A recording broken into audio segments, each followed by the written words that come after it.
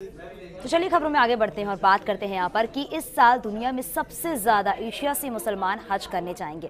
पूरे एशिया में इंडोनेशिया अव्वल और भारत दूसरे नंबर पर रहेगा, जबकि पाकिस्तान इस्लामिक देश होने के बावजूद तीसरे नंबर पर है और इस साल सऊदी हुकूमत ने भारत का पच्चीस हज़ार सीटों का कोटा बढ़ा दिया है, जिसके चलते भारत में सबसे ज़्यादा तैतीस हज़ार हाजी उत्तर प्रदेश के होंगे, जिसमें पंद्रह हज़ार से ज़्यादा हाजी लखनऊ एयरपोर्ट से हज के पाक और मुकदस सफ़र के लिए रवाना होंगे। और इसके अलावा राजस्थान से इस बार अठासी हज यात्री भी जा रहे हैं, जो पिछले साल से 900 हाजी अधिक है। हाजियों के सफ़र और बेहतर बंदोबस्त के लिए अजमेर दरगाह से जुड़े लोगों ने केंद्र सरकार और केंद्र अल्पसंख्यक मामलात मंत्री मुख्ताब अब्बास नकवी की तारीफ़ की है।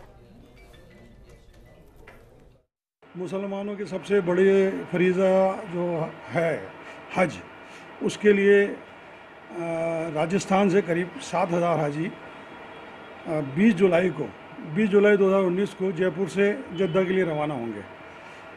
और उसके लिए राजस्थान गवर्नमेंट द्वारा जो अजमेर में प्रशिक्षण और टीका लगाने का एक प्रोग्राम भेजा है, उसके साथ साथ ये टीका लगने के बाद और वैक्सीन पूरी होने के बाद उनको एक सर्टिफिकेट दिया जाएगा राजस्थान स्टेट हज कमेटी के द्वारा उस सर्टिफिकेट को लेकर वो अपनी हज यात्रा पर जा सकेंगे। हिंदुस्तान और सऊदी गवर्नमेंट के बहुत शुक्रगुजार हैं कि उन्होंने इस बार हमारे को, हिंदुस्तानियों को खूब मौका दिया है हज पे जाने का।